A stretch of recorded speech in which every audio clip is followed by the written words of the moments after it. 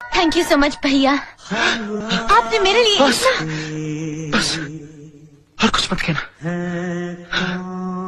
भैया? हाँ?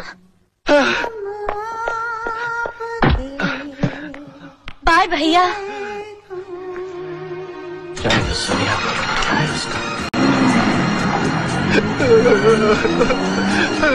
भैया